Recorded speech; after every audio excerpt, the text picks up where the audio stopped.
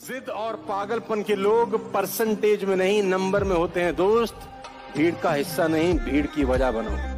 जिद और पागलपन के लोग परसेंटेज में नहीं नंबर में होते हैं दोस्त। भीड़ का हिस्सा नहीं, भीड़ की वजह बनो। जिद और पागलपन के लोग परसेंटेज में नहीं नंबर में होते हैं दोस्त। भीड़ का हिस्सा नहीं, भीड़ की वजह बनो।